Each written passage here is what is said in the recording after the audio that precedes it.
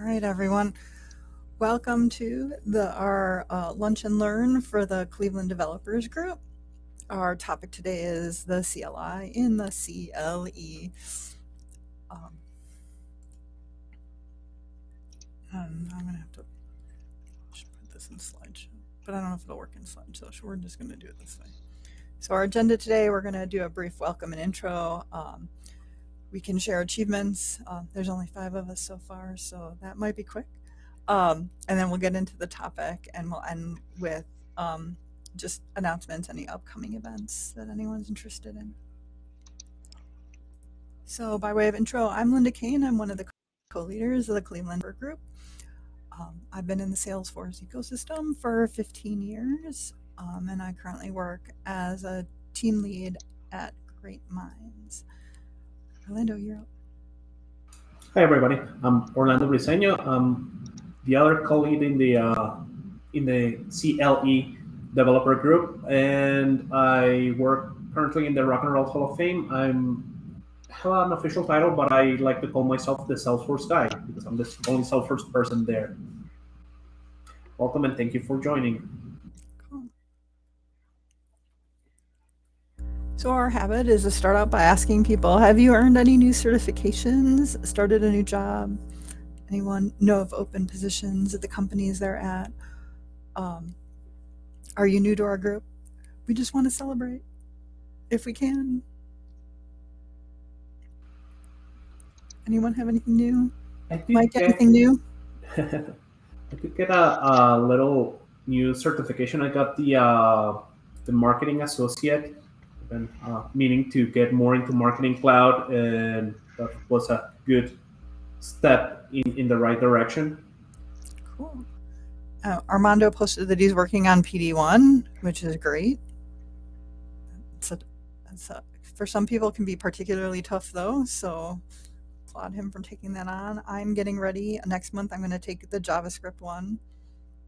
So getting ready for it, just not there yet but close, closer than I was. My most recent one was the the data cloud cert. Um, so that was very different. Definitely not in my wheelhouse for sure, but um, data cloud is is it's pretty massive. So. Ah, that, that's so cool, Mike. Congrats, everybody.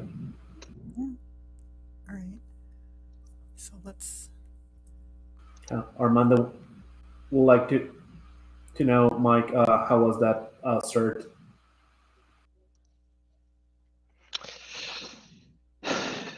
Um, you know, they had a um, a course that I was able to enroll in through the partner through the partner community in the consulting space, um, and we had a weekly um, session learning about the different components and data cloud. And so that was a that was a big help. Uh, this was before they had um, the trailheads for that. So i think now now there's trailheads of what of what i went through.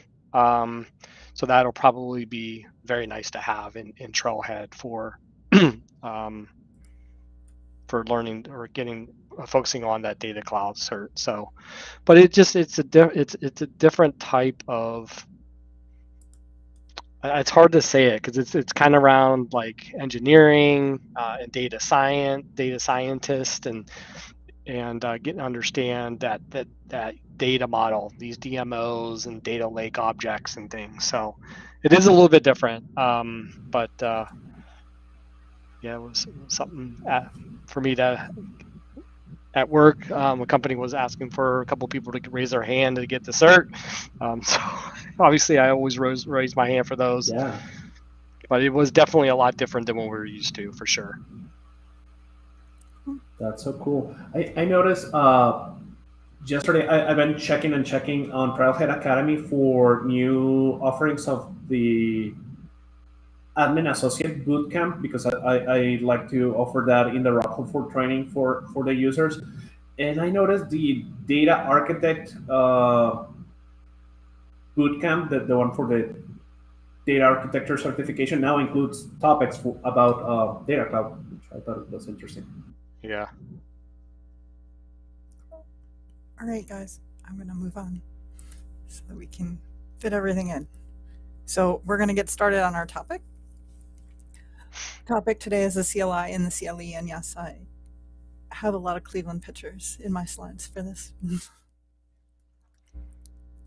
so uh, first things up, when you're doing the CLI, uh, installing the CLI, and I will um, be sharing um, these slides as well as um, the handout for the hands-on that's happening tomorrow if you're able to join us. And even if you're not able to join us, you're welcome to try the hands-on on your own. So installing um, the CLI, you kind of have two options. So for your various platforms, there is an installer, or you can also install it through NPM. And this is just kind of an overview of that. Um, I also highly recommend you update frequently your Salesforce CLI. Um, the commands are pretty simple, whether, you know, especially if you did the direct install to just run SF update. Um, it's supposed to auto update. I don't think it always does. So I just recommend that people check that periodically especially if you're also using VS Code and the extensions, because um, sometimes a mismatch between those can cause issues. So, um, as mentioned, the VS Code, making sure you have the Salesforce extension pack or the extended one. Um, it is included in both. Um, and then running those commands, getting to the uh, little control CMD or uh, in Shift P to get to those commands, or even right clicking on various things within a uh, Salesforce project will allow you to access some of those commands. So getting into the actual commands, which is the bulk of what this is for. So help, you know, what do I do if I'm lost or I'm not sure what command? There is a help command. It's fairly simple, SF dash H or dash dash help. Um, I give a little example here of uh, SF help project retrieve start, which will give you all the information about that command as well as the options that you can run with it. So kind of a way to find directions when you're in the CLI. Um, and of course, the first thing you usually run with the Salesforce CLI is generating a project if you don't already have one. So SF generate project or project generate with the name of that project. It's going to create that project folder within your current location. So whatever your folder, your container you're contained in, um, it will create that project folder right there with the basic framework for a Salesforce project. Um, things like the project.json, um, your Force app folder, which then includes main default, and some of the key project folders or custom metadata folders that would be in there, like LWC, Aura, classes. Um, some of the some of the other folders will appear as you retrieve things or as you create them yourself if you need them. Um, and after I go through these commands, I am going to give a demo and show a number of these. So. Um, connecting to an org, of course, is a very important step when we're doing this so we can actually retrieve and deploy stuff. Um, so the connect, and there's actually more to the options for this than I show on here, but the basic command is sf org login web. This is the command that will open a browser to allow you to log in with your credentials. You are able to use that no matter if you're using uh, just username password, user password with MFA or an SSO because you get basically to the login screen. And if you need to use an SSO, you can go to uh, custom there. You also have the option to add the dash R, which allows you to put in the specific URL you are going to. Um, if you're using VS Code, I highly recommend you do that for a sandbox that you actually list the domain, the direct URL domain for that sandbox.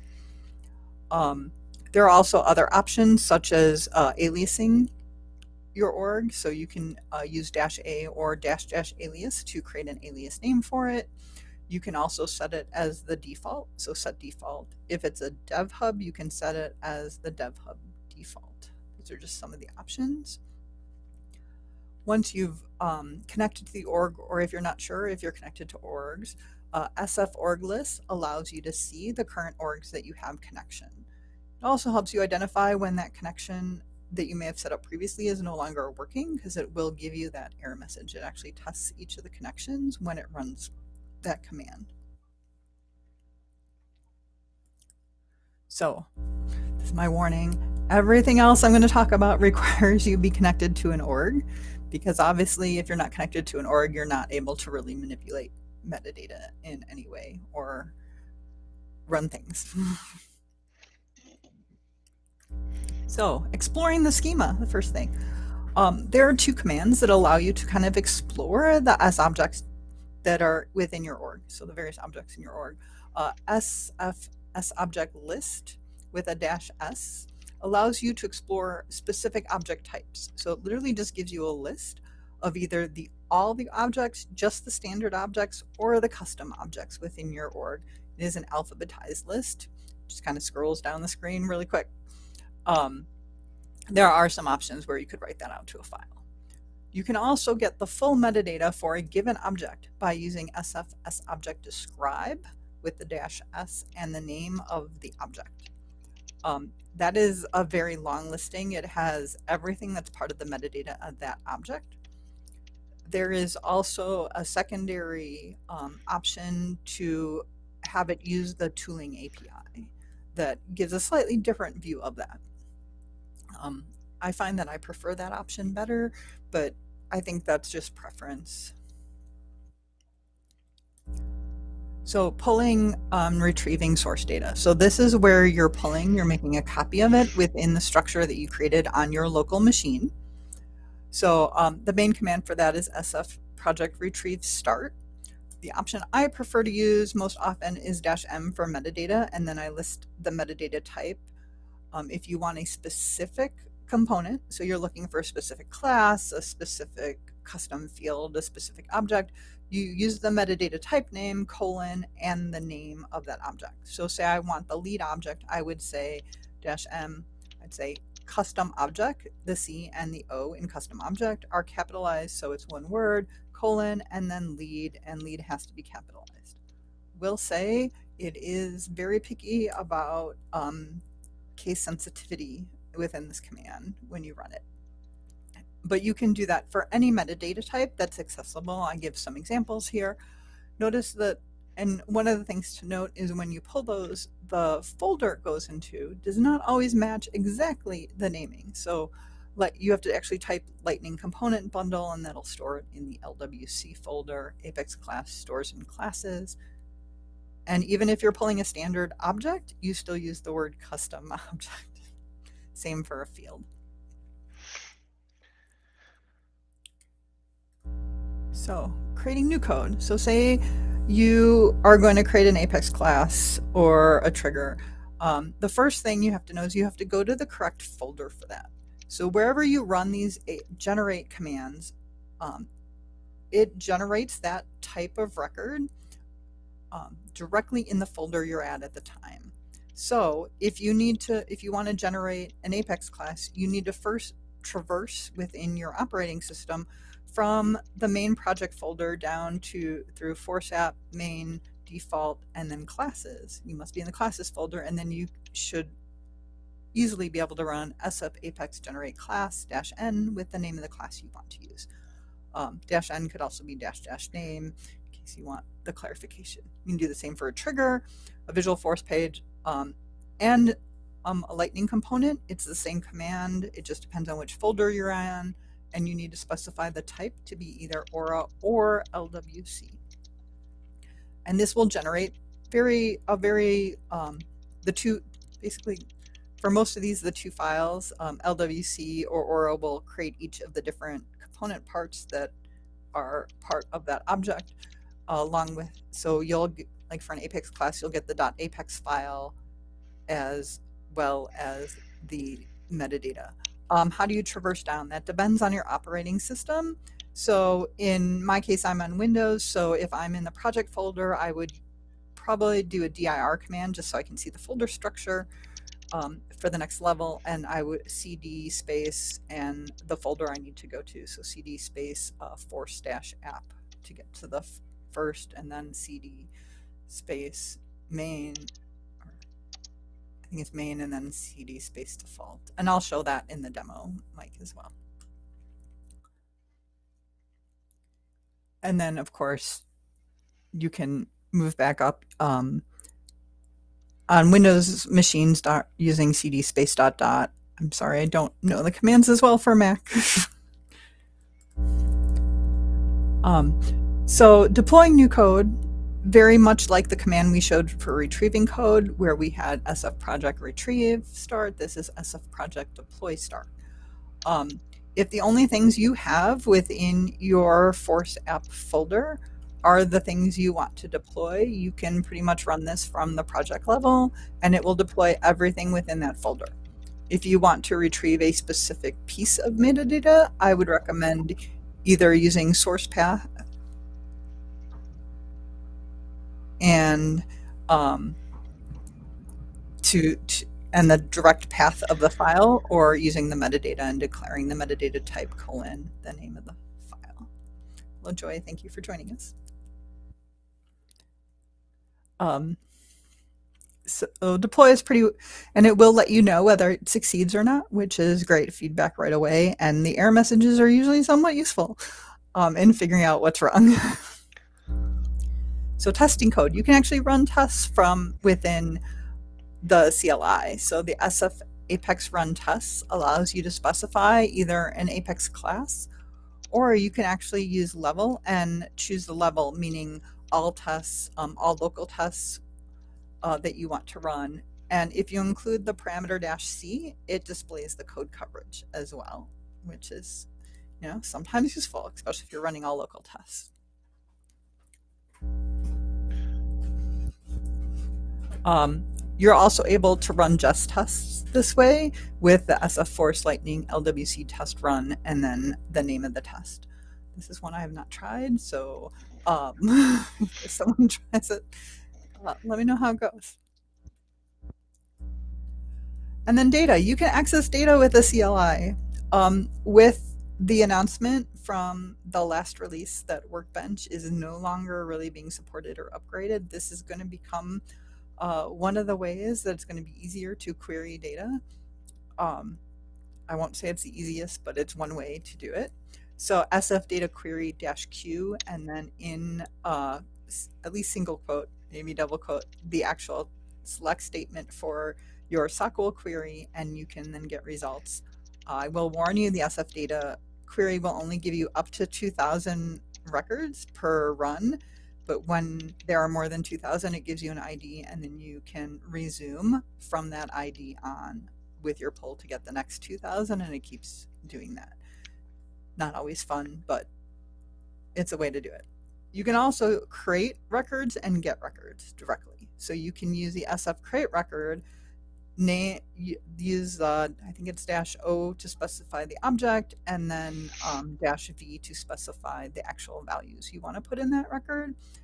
And for get records, you have options where you can retrieve records based on ID or based on the value of a field, which is kind of nice and I, will probably run a query example. Um, it's not what I wanted to do. Click the mouse in the right place. All right, so moving on to the demo. So let me get CMD up here, and of course it's opening on the wrong screen, so I will bring this over. Can everyone see? Yes, we can see my. So this is my command prompt screen, and I hope it's visible enough. Um, Looks like it might be a little small. Let's see if we can. I think how I can zoom in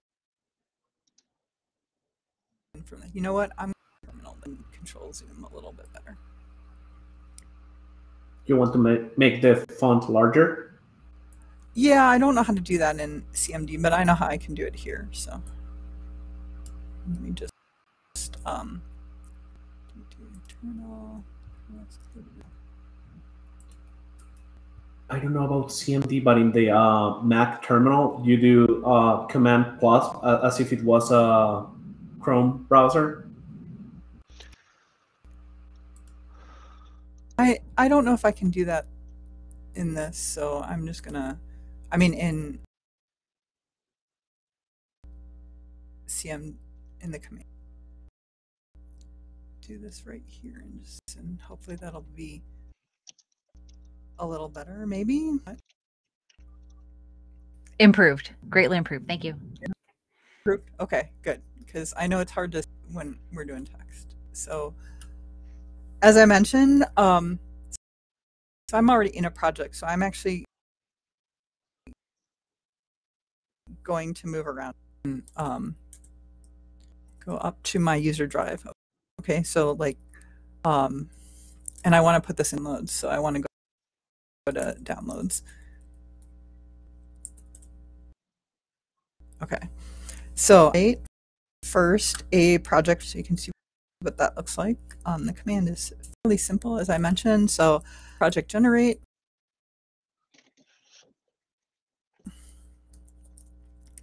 And then dash, I'm going to call this one CLA, CLE demo.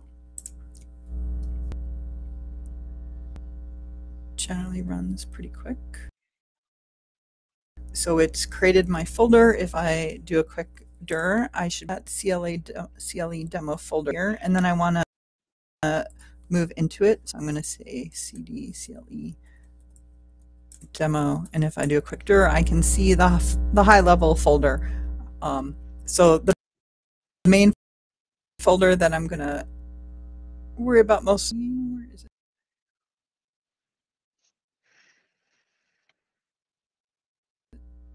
For my file go into, so that's where I'll be moving into when I need to do things. But for the most part, um, that project is login web. I'm, going to alias this as sit, which is dash a as demo. And sorry, the color is doing something weird. I'm going to set this as my default so I don't have to keep org I'm connected to.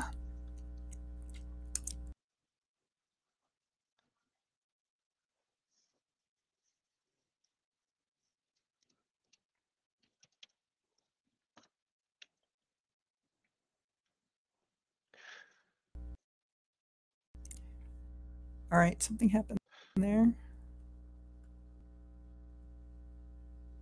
Oh, I forgot SF. that would help.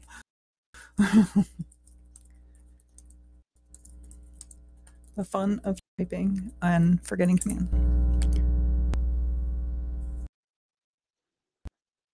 Type something wrong again. Yes. All right.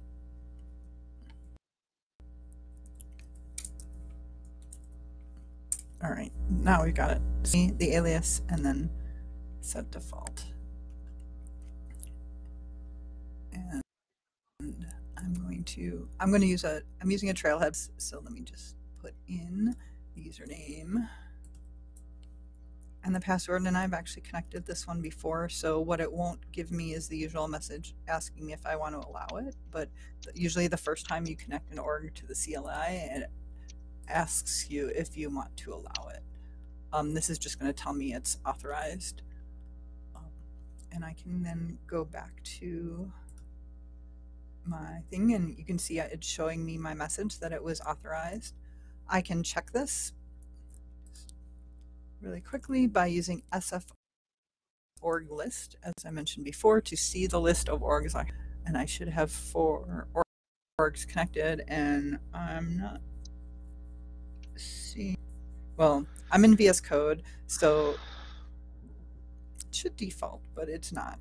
So let me just fix VS Code so that I don't have to worry about this. And I'm just going to click on that. I actually have two different names for this word, but that's okay. Two different aliases now, but that won't hurt anything. So we are definitely connected to um, the org I want to be connected to. So really quickly, let's see what kind of objects are in here. So S, S object list. And I'm just going to do because it's a trailhead playground and I've tried it before and I know there are no custom objects in a trailhead playground by default when you start.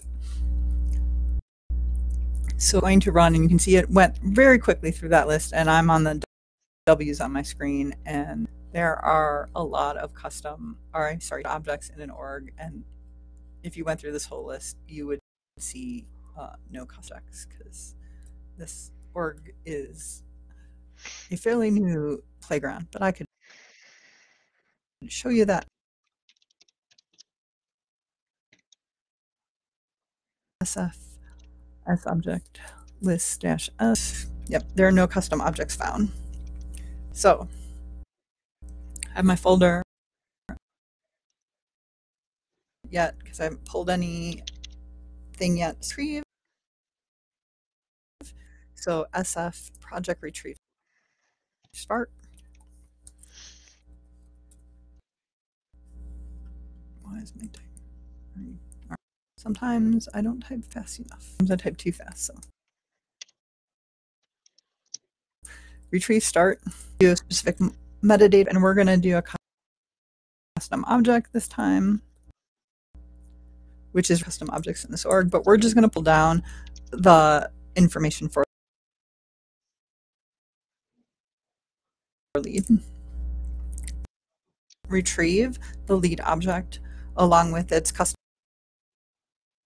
views, um, if there are web URLs, I'm trying to remix and views, but it's running and it's finished. Um, if I move to my Force app and then main and then default.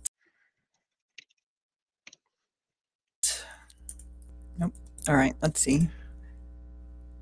Object so cd object. I can see now that I have a lead object, which is a folder in this case. So I go to that lead folder and I can see I have fields, list views, and metadata for the object. So that has pulled. I'm going to go traverse back up least two levels. Default get my list of metadata types in here. See where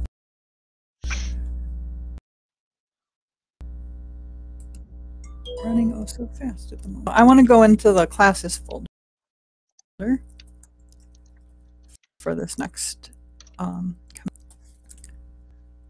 and it's empty and I want to generate see what it looks like when I generate a class. So I'm going to SF Apex generate class. I'm going to give it a name of CleDev hello. And it's going to generate the files that make up an, a basic Apex class. And it's telling me it's where it's putting it. Um, because I'm in that folder, it's using that as the target and files. So if I direct the files, I can see those files. I'm going to open new browser window really quick and get it to the right direction before I bring it over. So in my downloads, so sorry if this is a little smaller, but in my downloads, I'm in the project folder Force app, main default classes. So it generated the two files, as we already talked about the class and the metadata. If I were to open the metadata file, which open really quick in Notepad, bring this over, you can see it's got the basic of the XML with um, not exactly the current version, but it's actually the current version for what when I generated a project right now is using 59. And if I open this one in Notepad, you're going to see all it has really is the declaration of the class is public and a, a constructor with, and from there, then I could add it and deploy. And I'm going to do one from folder here. Desktop. I have a project where I have some other data stored. So I'm just gonna traverse through here. Um, I will tell you this is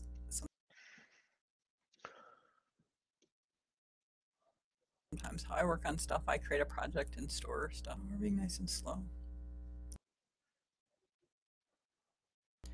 All right, so I have these four right here from another project that I did that I'm just going to copy right into the classes folder of the project that we have.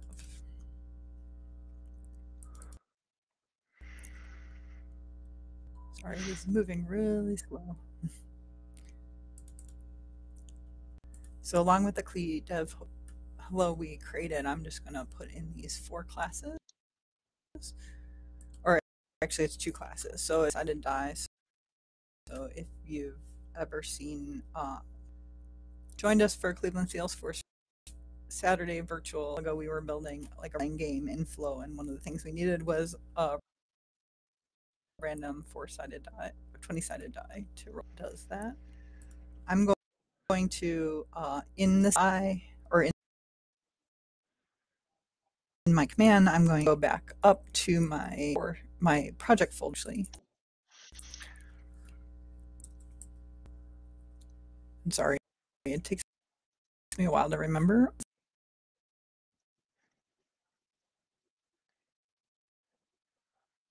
So, and now I'm going to retrieve those, not retrieve, I'm going to deploy the two classes that I just copied over.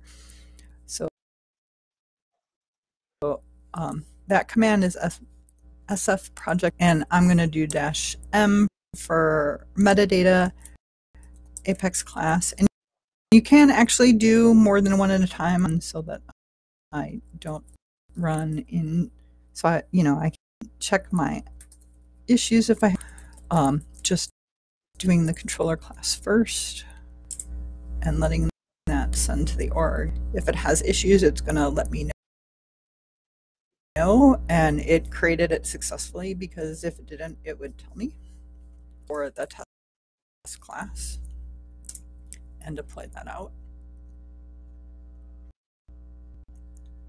And the other fun thing is I can open my and say org open and it will open the org in a browser for me. So right here I'm in that trailhead playground for me it took me directly to setup, which is very convenient. And I'm just going to really quickly open Dev Console and open those classes. So I can see these classes right here. So here's the 20-sided die controller test. And here is the actual 20-sided die controller, which has one method called get die roll in it. So they did deploy to the org. They weren't there before, I promise. Um, so the next piece I wanted to demo, which, where did my command line go? Here we go, we're doing this. All right, so test is the next thing I wanted to show really quick. Now that I've got an Apex class test, test class in there, um, so which the command is sf apex run test. And the name of the actual test class.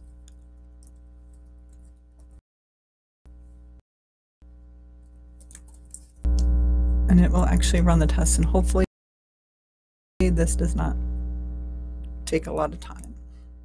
Um, sometimes it takes a while with these to, to run.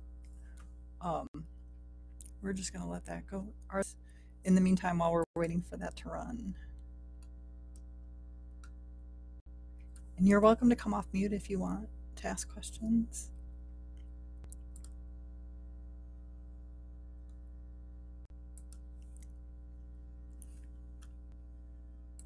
I should probably see if I can see if it's running in here. All right, this shows it ran and finished. I don't know why it's has not retrieved it to there yet.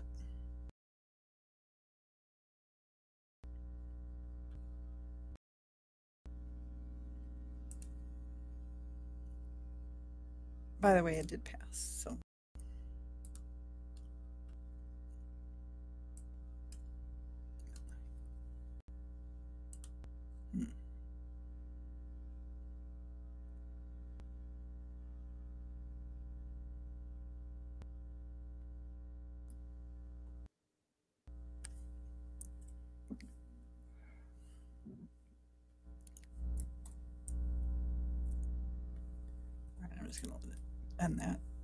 I wish that demo was better for that.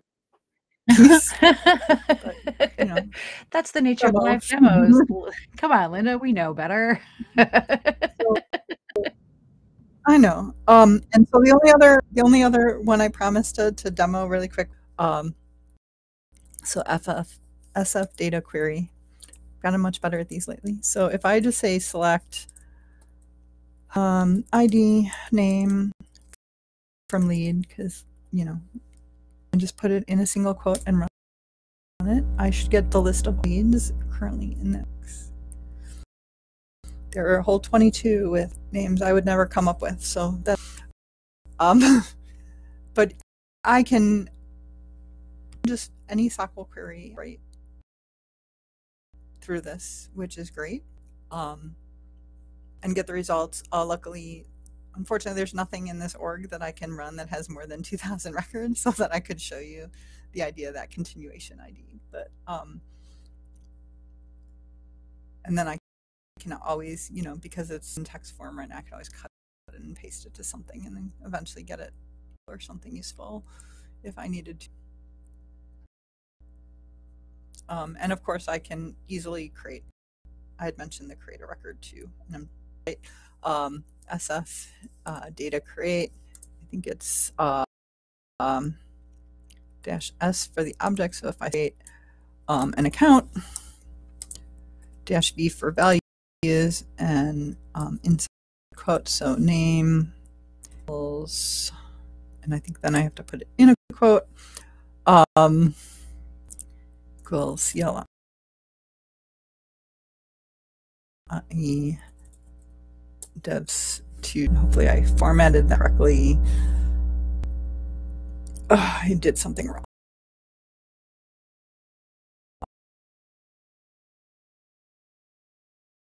Um, Okay. So it did. I forgot part of one of the command, but um it did create a record. It gave me the ID. So then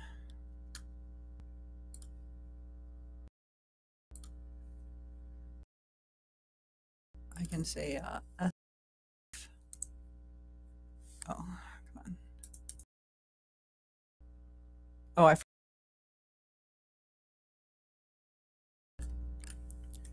So SF dash ID, and I'm just going to paste that record ID in.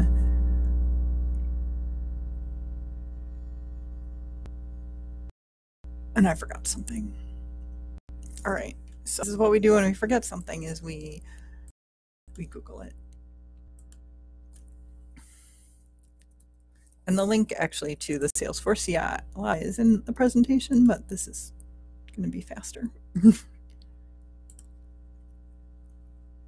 um, I can tell you, I bookmark this in every browser I have because I use it a lot. But uh, so data get record right here, and I'm sure I forgot. Oh, dash dash s object, which is uh, shortcutted as dash s, and I is record ID. So really quick, we can alter this.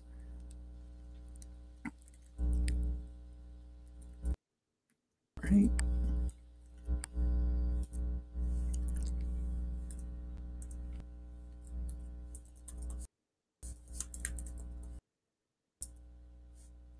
So we can that record ID. And it shows me every field and value for that record when I pull it. which is kind of nice. Quickly scan into the name, and here's the all the other fields. So if I wanted to actually do an SF data update record, give the ID, and whatever values I want to update as well. Questions? Anything anyone else wants to see? Thank you, Joey. Thank, thank you for joining. Thank you, Mike. Uh, I think they're they're they need to Yeah. go. I gotta go, Lynda. Thank you. I'll catch the recording and like rewinding Okay. and pausing. I'm excited. Thank you. So that's kind of the demo part. then you wanna try? s- What? Yeah, no, it was it's really good. If you wanted to try something for uh, that that you mentioned that you wanted to to do uh, was to redirect the output of the query, for example, to a file. I pasted how to do that in a Unix system. I ChatGPT my way into seeing how to do it in PowerShell. I don't know if you want to try it. I don't think I want to do it right now in PowerShell. Um, it might actually take a while to run. Okay. But um, there, there, that command is also given in the CLI stuff. So like, if I were, especially under query, I feel like that's where one of the great places to use it. Um, do they have the redirect on here? Yeah, a file in this case, like to put out to output to a file. Um, Oh, cool. Some of the commands use, uh, I think dash. I feel like there was another command in some of the commands to direct the output, but um, and as I mentioned, you know, if if you have more than two thousand records, it'll return the first two thousand records with an ID, and it's query resume, and you have to give it that ID to get the next two thousand records. Gotcha. Cool. that is our demo for today. Um, I do have in the slide deck a number of resources, including Trailhead specifically on the CLI, both modules and projects. And um, all links to various pieces of documentation about the CLI. So your setup, your command reference that I had called up. There is, if you want to create your own plugin for the Salesforce CLI, there is a developer guide for that um, the general DX developer guide and the experience website. And then also the very last link on here will take you to the slide deck as well as the hands-on exercise that I put together. Um, similar to the demo, but not exactly like the demo. It actually takes you through a few other steps and things. Um, so that is also available to you. Uh, of course, I welcome anyone to join us tomorrow morning at Common Grounds for the hands-on session. So you can try it on your own, ask questions if you need help, or even if you just want to try things beyond what's in that demo, we'll I'll be on hand to help you through that. So thank you.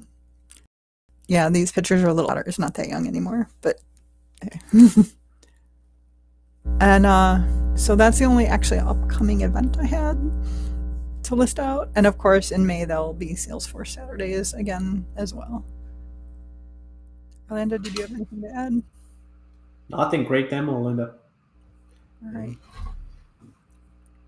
Thank you all for joining. Uh, have a great great rest of your Friday. Have a nice weekend and, and see see you tomorrow for those that, that can attend.